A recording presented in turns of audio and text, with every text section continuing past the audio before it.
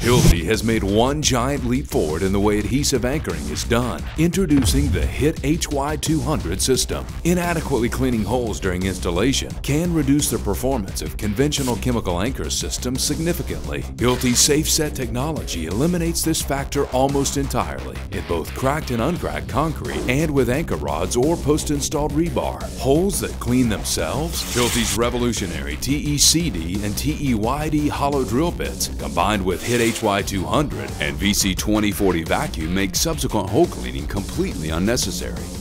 Dust is removed as you drill, providing for faster drilling and a virtually dustless working environment. No cleaning required? The new HIT Z-Rod eliminates the need for hole cleaning altogether. Its unique shape works as a torque control bonded anchor in hammer drilled holes. Drill the hole, inject the epoxy, install the anchor, and move on.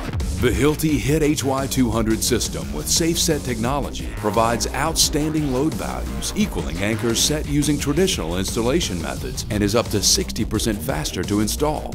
Less steps, less time, less room for error.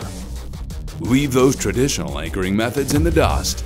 Hilti HIT HY200 system. A small step for contractors, a giant leap forward for your next job. Hilti, outperform, outlast.